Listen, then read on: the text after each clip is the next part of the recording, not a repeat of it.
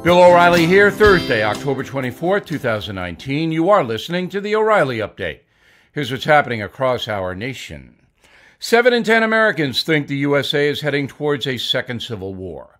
Mayor Pete Buttigieg calls for the legalization of pot. TV's Judge Judy endorses Mike Bloomberg for president. Nearly one third of America's Jewish community conceal their religion for personal safety. A new study links smartphone usage with consumption of sugar. Also ahead, the message of the day on abuse of power. But first, Americans telling pollsters they believe the USA is on the verge of a second civil war. The Battleground Civic Survey shows 71% of those asked believe an armed confrontation between American citizens is likely in the near future.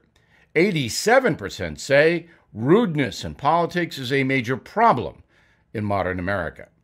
There is a social civil war underway, but I don't see mass violence happening. Presidential candidate Mayor Buttigieg calling for the legalization of marijuana across the USA.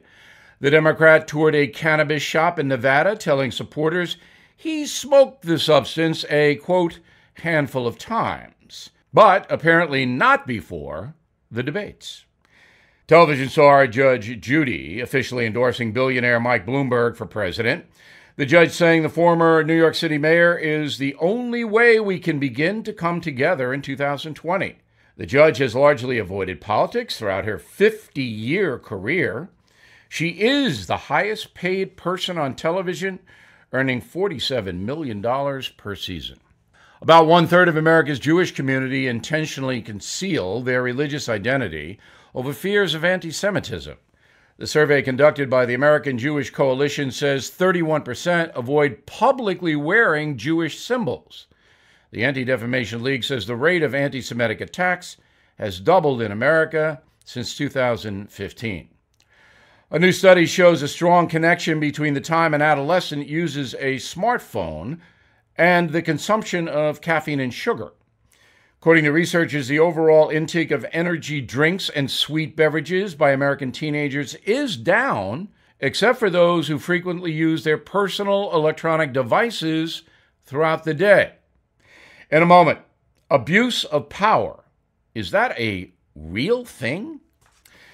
You've been hearing about gold all over the news. Prices continue to climb. Not surprising. Experts warning a recession could happen. But pay attention to the banks some of them ran out of cash last Monday night and had to borrow money from the Federal Reserve. Since last week, more than $500 billion has been printed and given to the banks just so they could stay in business. Sound familiar? Remember in 2008 when the Fed had to bail out the banks? Well, it's happening again. Americans are looking for stability, and many are turning to gold and precious metals as a way to protect their savings and retirements. That's why I recommend that you contact American Hartford Gold Group now to learn more. To get you started, American Hartford Gold Group will gift you a free silver coin. No purchase necessary. All you have to do is call them. 877 444 GOLD Gold. That's 877 444 Gold. So please give them a call today to claim your free coin. Available for a limited time only. 877 444 4653. Time now for the O'Reilly Update message of the day impeaching President Trump by using abuse of power. Some Republicans are worried about the president holding up under the enormous strain he is under. By design, most politicians are afraid of controversy and of the media because of the emotional damage those things can inflict. Despite screaming daily headlines that President Trump did this or did that, there is right now no clear evidence that Mr. Trump did anything impeachable. So House Democrats have gone to the abuse of power playbook. That concept is vague and can be applied to any powerful person. It is easy to say someone abused their authority in a general way. We hear accusations like that all the time. The fact is that every American president from George Washington on could have been charged with abuse of power. Here are some examples. The young President John F. Kennedy totally botched the invasion of Cuba. That is known as the Bay of Pigs fiasco. In the early part of his administration, Kennedy did not tell Congress or anybody else that the USA had hired mercenaries to try to overthrow Fidel Castro. Castro got wind of the plan, the whole thing was a debacle, and Kennedy was embarrassed. He could have been charged with abuse of power. A few years later, Lyndon Johnson misled the entire country about the Vietnam situation. You may remember President Johnson telling the public that the USA was winning the war, the light at the end of the tunnel. That was not true. We were fighting a stalemate situation in Vietnam, and 56,000 American troops were killed, hundreds of thousands wounded. For that, Lyndon Johnson could have been impeached. Harry Truman could have been impeached for dropping the atom bomb. If you read my book, Killing the Rising Sun, you'll see that President Truman did not confer with Congress or anybody else about the bomb drop on Hiroshima and then later on Nagasaki. He just did it. And hundreds of thousands of civilians in Japan were killed. Franklin Delano Roosevelt could have been impeached for failing to accept refugees from Nazi occupied territories while they were being exterminated in concentration camps. There have been many books written about FDR's failure to save people who could have been saved. Barack Obama could have been impeached for failing to protect Americans in Libya. That's the Benghazi situation. And finally, Abraham Lincoln could have been impeached for suspending habeas corpus. During the Civil War, the president took away all civil liberties, and Union authorities could seize homes, properties, arrest you without a trial, all of that. Let me repeat every president could have been impeached under the abuse of power banner. And that is the O'Reilly Update message of the day. Please check out my latest book, The United States of Trump, big bestseller. We thank you all. And every evening I do a podcast on BillO'Reilly.com, which I think you might like. Up next, something you might not know. Forget Russian hackers and elections for a moment, please. This is worse. Cyber thieves are stealing American homes.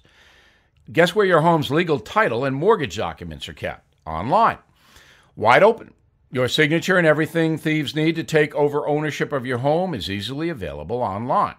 Thieves forge your name off the title, then refile the deed so it appears you sold it. Then they go to unscrupulous lenders and borrow money using your home's equity. Then they disappear, and you get stuck with the payments. Banks, insurance, and identity theft programs do not protect you. Home Title Lock does.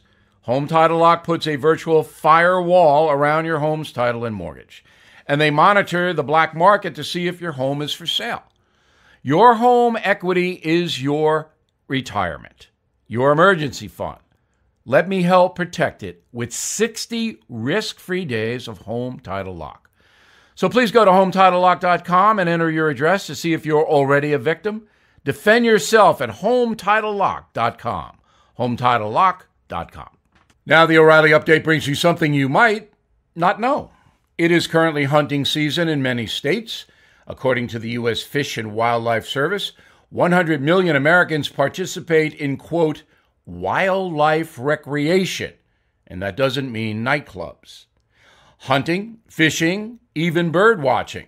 There are more than 14 million hunters in America, generating $150 billion annually. Big business. America's love affair with hunting goes back to our beginning. Plymouth Colony officially ruled that wild animals in the New World were no longer the property of the Crown. All were free to be hunted. That tradition is thriving today, 400 years later. Birds, deer, bears, elk, even alligators are hunted for food and sport. Texas issued more than a million licenses in 2018. Rhode Island handed out the fewest at just 8,000. 80% of licensed sportsmen go after big game, most popular deer. At an average 150 pounds and running 30 miles per hour, these animals are no easy targets. More than 6 million are harvested every year in all 50 states, even Hawaii. Another favorite, the Roosevelt elk. It's the third largest land mammal in North America.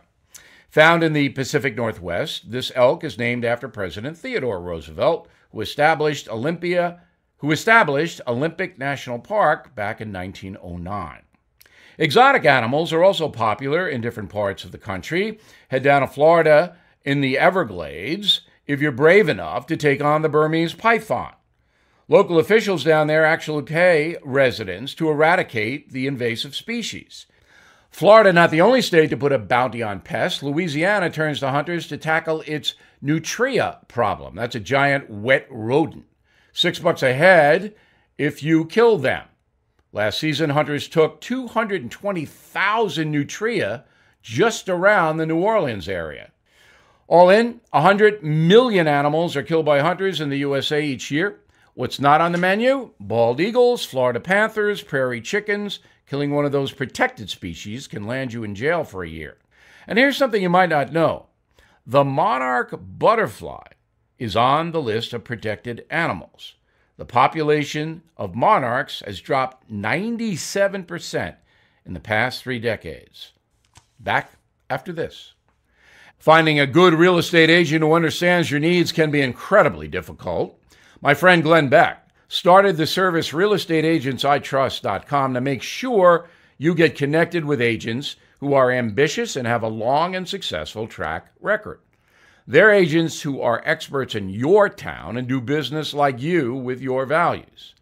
I heard a story of a family whose home had been on the market for more than a year, and they were facing a difficult scenario of what to do next. They learned about Real Estate Agents I Trust, and after contact, a real estate agent was able to go in, make some changes to the house, and then sold the house within three weeks. This is why I endorse realestateagentsitrust.com. No pinheads, just great agents. I wouldn't hesitate to use Real Estate Agents I Trust if I were going to sell my home.